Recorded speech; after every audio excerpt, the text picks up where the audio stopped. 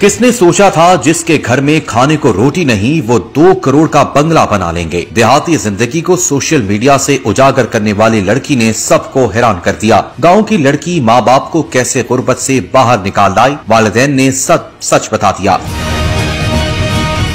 गाँव से वीलॉग्स बनाकर पैसा कमाने वाली मारूफ टिकटॉकर और वीलॉगर अलीजे सहर कौन है? आप भी सुनकर हैरान रह जाएँगे।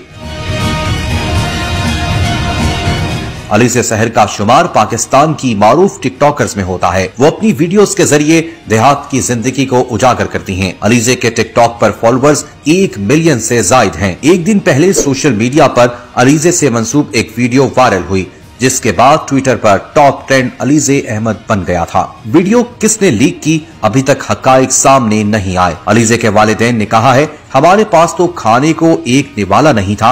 अलीजे ने अपनी यूट्यूब की वीडियो से ही पैसे कमाए और दो करोड़ रुपए का शानदार बंगला बना कर दिया। हमने गुर्बत में बहुत मुश्किल से घर चलाया, पार्लर में भी काम किया, हर मेहनत वाला काम किया फिर मोबाइल लिया और वीडियो से कमाना शुरू किया। अली अलीजे शहर को तो अंदाज़ा भी नहीं था कि यूट्यूब पर काम कैसे करते हैं। दोस्तों ने मदद की और फिर लाखों रुपए महाना कमाई की।